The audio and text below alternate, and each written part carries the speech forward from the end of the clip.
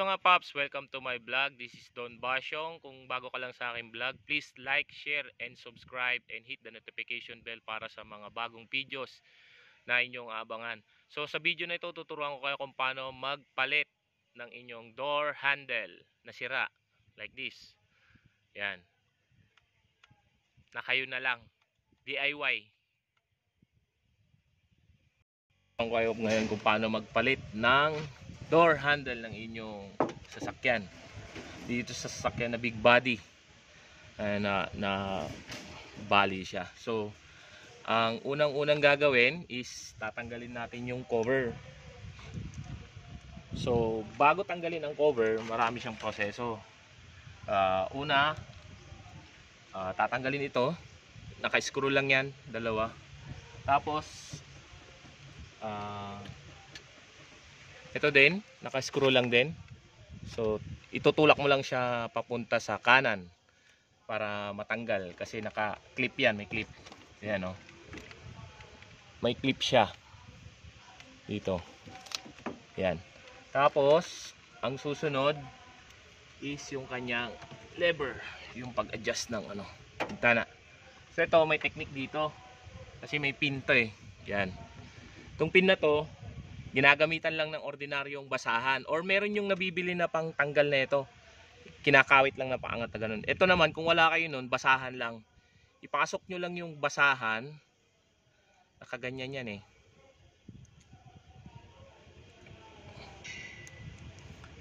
Kaganyan. Ipapasok nyo lang yung basahan. Yan. Papasok nyo lang.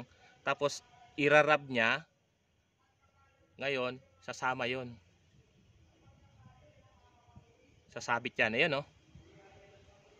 Sasabit siya. So, matatanggal na siya. Ngayon, pag natanggal siya, wag na wag yung iwawala ito kasi napaka-importante itong pin na to. Tapos yun, matatanggal yun ha. Pag natanggal yun ha, itong, itong cover na to, inaangat lang siya. May mga ano lang siya, may mga lock lang. Yan, na, nahuhugot naman yan na nahihila pa, ano, paharap. So, natatanggal. Yan. So, pagtapos nun,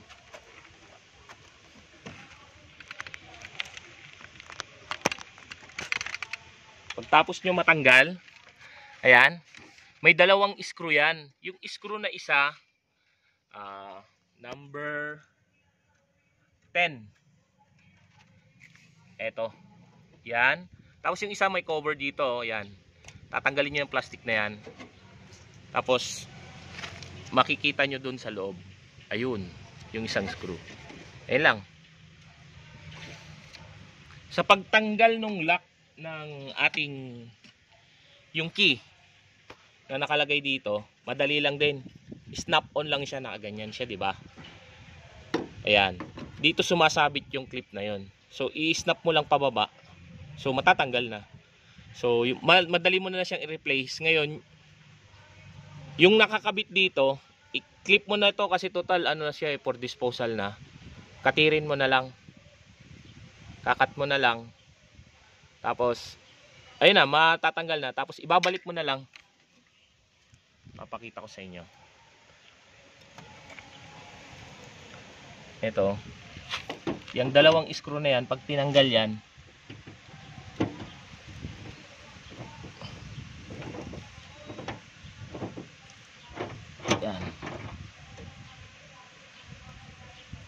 Isa tapos dalawa.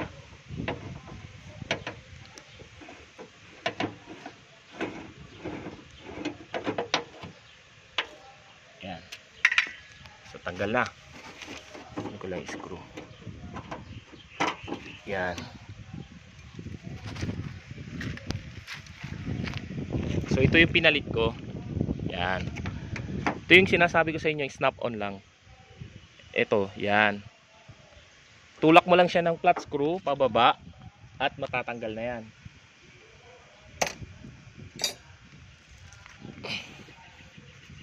ito snap mo lang siya pababa yan yun tayo tanggal na o, tapos may hila mo na siya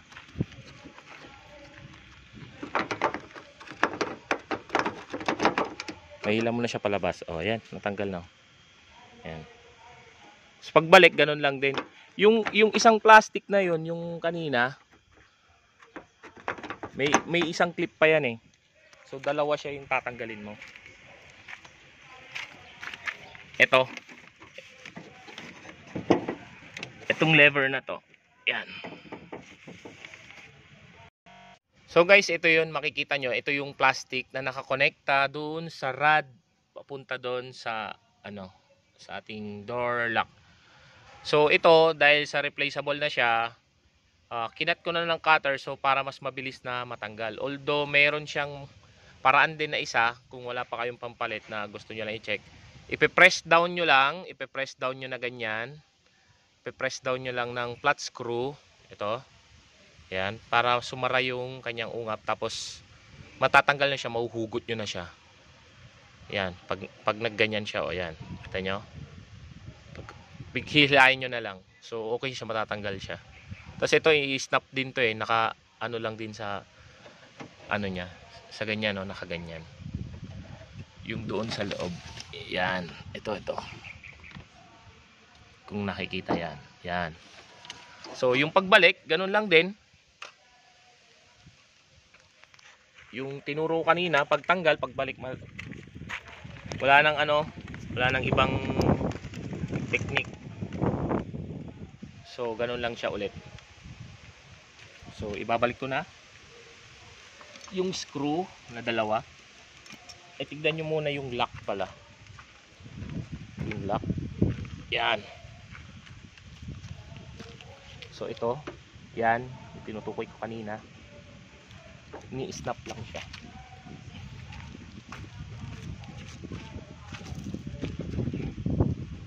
Yan o. Yan.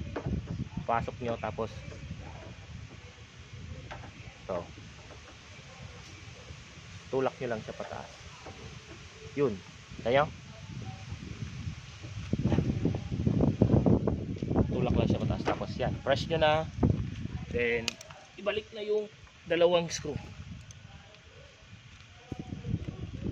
babalik nyo na yung dalawang screw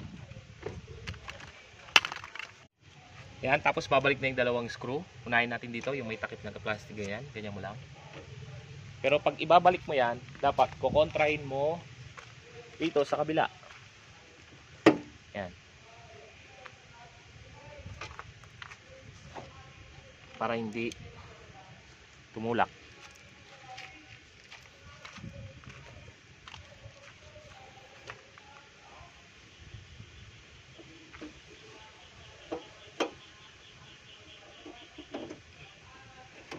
Yan. Tapos kukontrahin mo lang doon sa kabila. Yan. Oh.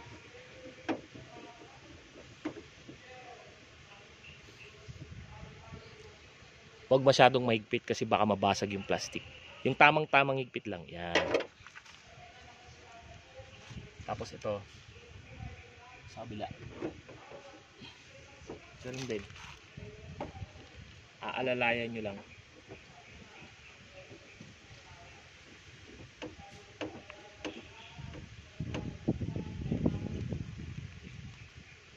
Tamang higpit lang, huwag masyadong mahigpit kasi mababasag yung plastic.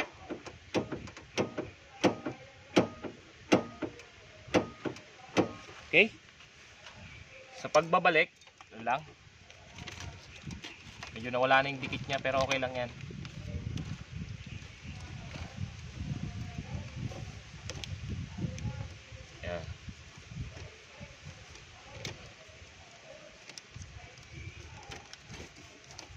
balik nyo lang dumidikit naman siya pabalik yan. Tapos itong ating cover.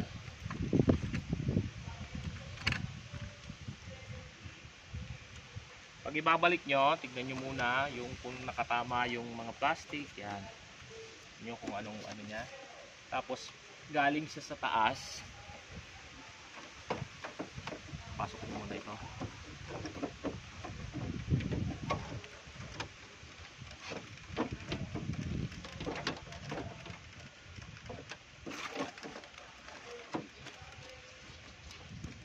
yan kasi igilid yung ganyan. Oh. Kita nyo, yung technique, ganyan nyo muna. Tapos, oh, lulusot.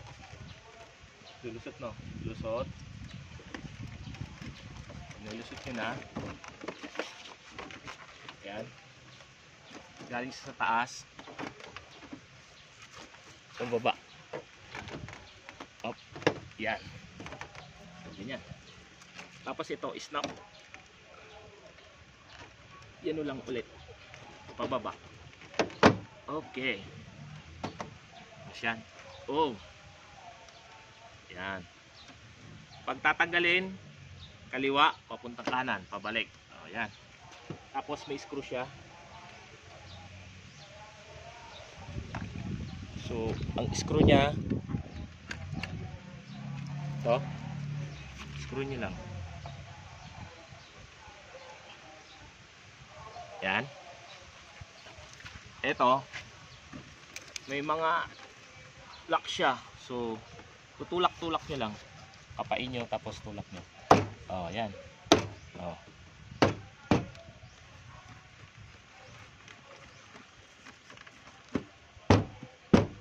Okay.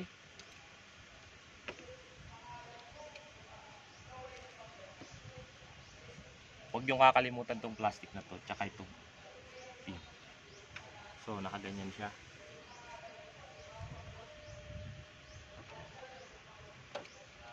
So, ito muna. Then, ito.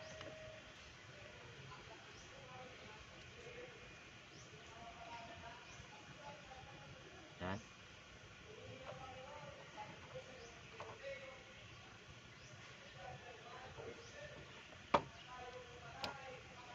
Tapos, balik nyo lang.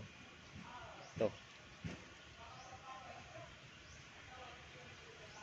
Pag itulak, kailangan secured na muna yung okay. Pagkatulak, saka nyo push pababa. Yan. Block na yan. Alright.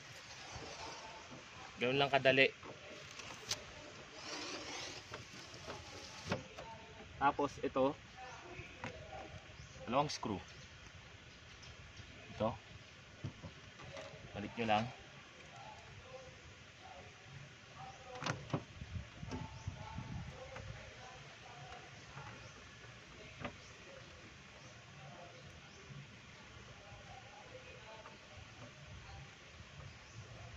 Isa.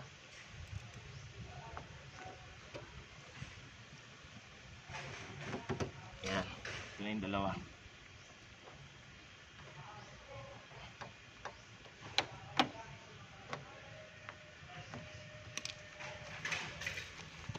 Yan lang kadali magbaklas pagkabit.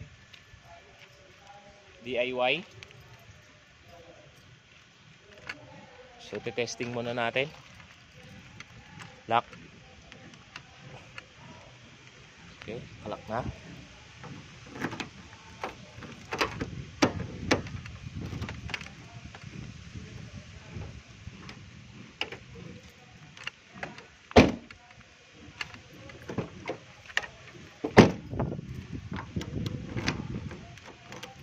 Ayan.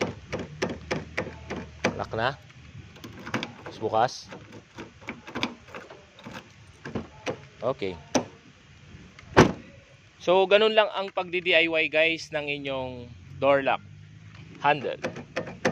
Para hindi na kayo pumunta kung saan saan. Kayo na lang gagawa. So, yun lang guys. Maraming salamat. Kung di ka pa naka-subscribe sa aking YouTube channel, please like, share, and subscribe.